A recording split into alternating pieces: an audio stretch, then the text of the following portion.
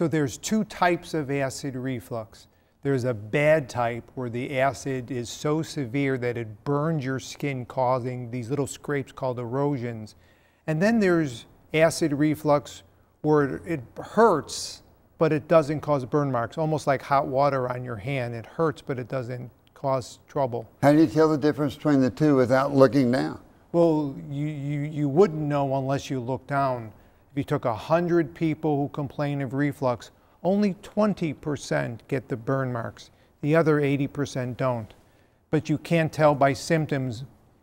The only way you could tell is by looking, but we try not to scope people routinely because scoping people really has risks involved with it.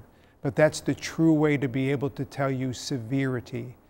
So what's it like to do an EGD? That's that's where they look down the throat and they find out really what's going on. What's An happening? EGD is a very comfortable procedure nowadays with the help of modern sedation.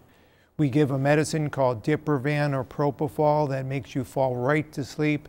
And while you're sleeping, we pass a scope about the size of a pen and we look into the food tube, the stomach, and the first portion of the intestine called the duodenum. What are you looking for when you look at those? For, We're looking for acid burn marks. We're looking for scar tissue.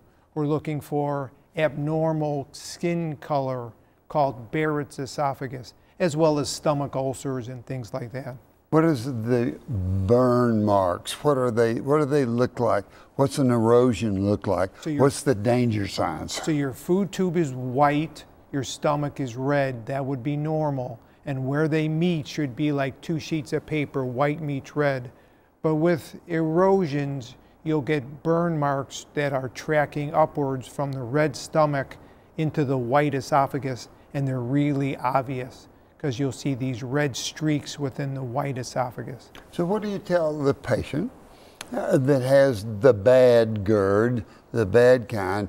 How, how do you teach the patient how serious this can be? Well, the first thing you do is you correlate their symptoms with what's wrong. And many times patients don't have symptoms. They have asymptomatic GERD. Wow. So you make sure they know that trust the symptoms, but sometimes you can't. People with erosions, it's very important for them to take their medicine. If they go on vacation and miss their medicines, they need to go to the pharmacy and get some replacement. Whereas the non burn mark people, whatever works to make them better, they should do. If it's Tums or Pepcid or apple cider vinegar, oh, I'm not sure about that, Dr. Bob. Whatever works, they should take that to make them feel better.